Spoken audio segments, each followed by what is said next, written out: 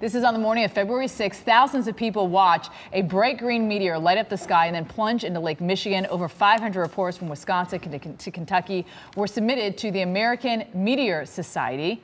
The AMS says this is the 14th largest meteor sighting they have recorded since beginning their work in 2005. Of course, that color is when it's burning up, interacting with the atmosphere. Awesome sight. Joining us live to talk about this from the American Meteor Society. I always want to say Meteorological know, Society because that's that us. Uh, is Mike Hankey. Mike, thanks for joining us this morning.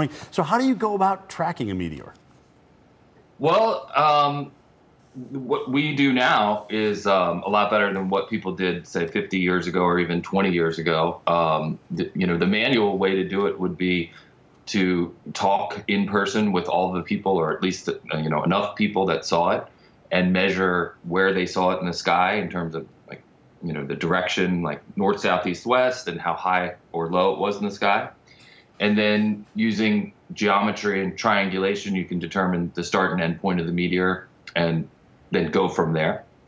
Um, with the internet and the application that we've built, we've you know enabled people to be able to do this all online using the Google Map interface, and they place their self on the map where they were, and then they point on the map where they saw the you know the fireball mm-hmm. start and end. Yeah.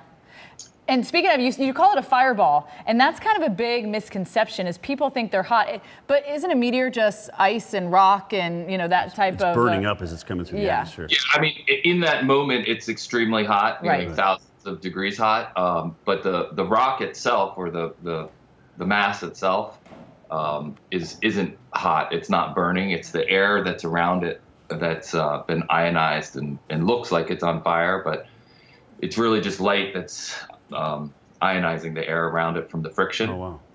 But the so, name Fireball is just a you know it's an astronomical name for a bright meteor. So, Mike, let's go back to you know how you're triangulating and finding these things. Do you ever go to the places where you think they may have landed and, and found pieces of meteor? And, and what is a unique story? Yeah. Like, did it go through somebody's roof or somebody's doghouse? I mean, do you have anything like that? I mean, that's that's happened for sure. Uh, personally, the best you know event I had was last year in Florida, right around this same time, and it was a daytime fireball that landed in essentially a swamp in central North Florida, and it was very much like the Michigan event in that it showed up on the Doppler weather radar, the same radar yeah. that you guys show all day long.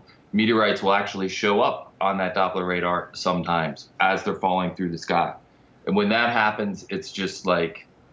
Uh, I don't know what you'd call it, but you have to go. And the right. meteorites generally right underneath of where the radar returns are.